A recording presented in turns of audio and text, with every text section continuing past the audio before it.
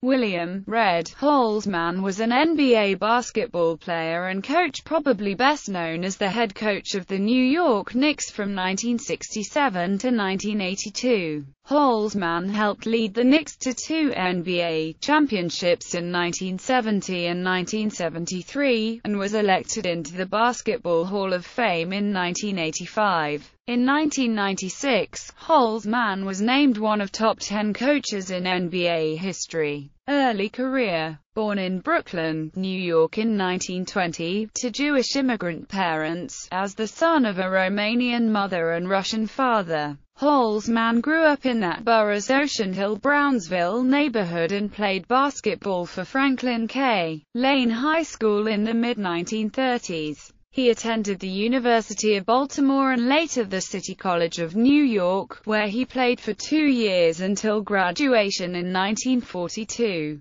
Holzman joined the United States Navy in the same year, and played on the Norfolk, Virginia Naval Base team for two years. Professional career Holzman was discharged from the Navy in 1945 and subsequently joined the NBL Rochester Royals which won the NBL championship in Holzman's first season. Holzman was Rookie of the Year in 1944-45, in 1945-46 and 1947-48 he was on the NBL's first All-League team. In the interim year he was on its second team. Holzman stayed with the team through their move to the NBA and subsequent NBA championship in 1951. In 1953, Holzman left the Royals and joined the Milwaukee Hawks as a player-coach, eventually retiring as a player in 1954 but continuing as the team's head coach.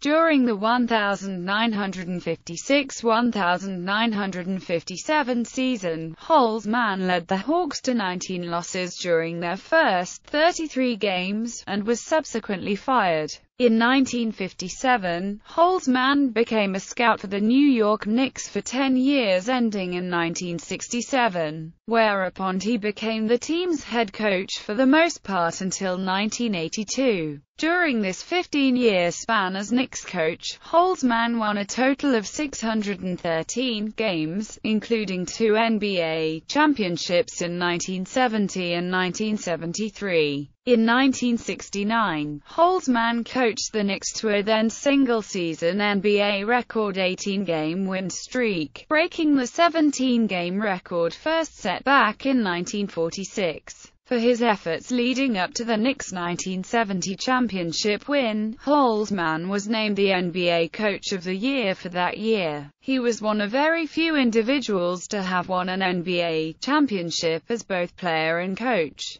As a coach, his final record was 696 wins and 604 losses. In 1985, he was elected into the Naismith Memorial Basketball Hall of Fame. The New York Knicks have retired the number 613 in his honor, equaling the number of wins he accumulated as their head coach. He lived with his wife in a home they bought in Cedarhurst, New York in the 1950s.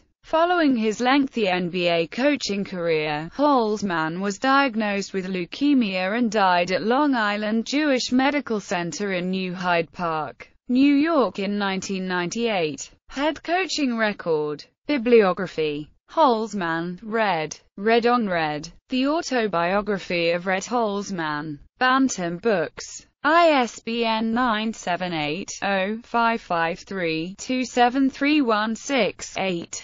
Holzman, Red. A View from the Bench. W.W. Norton and Company. ISBN 978 0 393 33623 8.